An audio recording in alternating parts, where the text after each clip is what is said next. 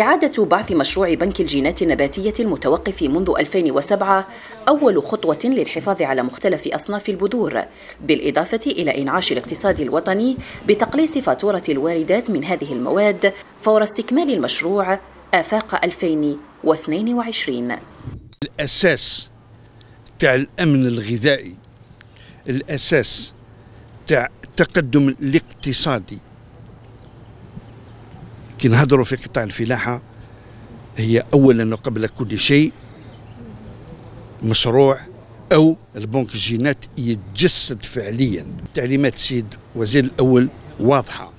ما عندنا أي عجز باش هذا البنك الجينات في عام 2022 تكون حقيقة ميدانية وتكون opérationnelle الحفاظ على الثروة النباتية لضمان الأمن الغذائي وتطوير الشعب الاستراتيجية التي لا تزال تشكل الجزء الأكبر من الواردات هو رهان القطاع الذي يطمح لحجز واحدة من المراتب المئة الأولى لبنوك الجينات النباتية في العالم.